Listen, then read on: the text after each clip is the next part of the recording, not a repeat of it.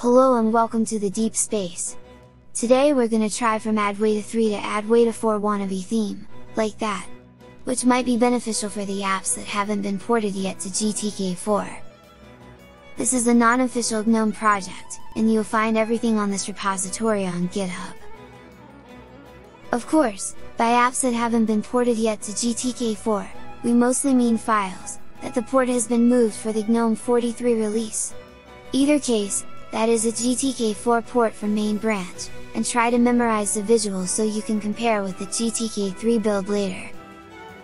Keep in mind, that isn't just a theme change. There is a whole new different rendering engine under the hood. And the same moves but with files on GTK3 and Adwaita 4 theme. And the first issue already, with background not rendering the correct color, so I will close the second tab. And obviously we don't have the super awesome GTK4 context menus either, and the theme can't do anything about that. And some more bugs with create button when wrongly is active, but such problems will be easy to get fixed. In reality the theme is so unbelievable good, that there were cases I was getting confused if I was using GTK4 or GTK3.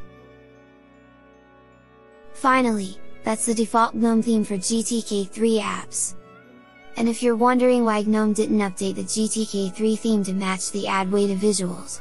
First because it would be time wasted to support legacy apps, but most important think of all this effort of application developers to recheck their current apps with the new graphics. Other components of great importance is obviously the terminal, aka console, till that moves to GTK4. The file picker totally belongs to the list.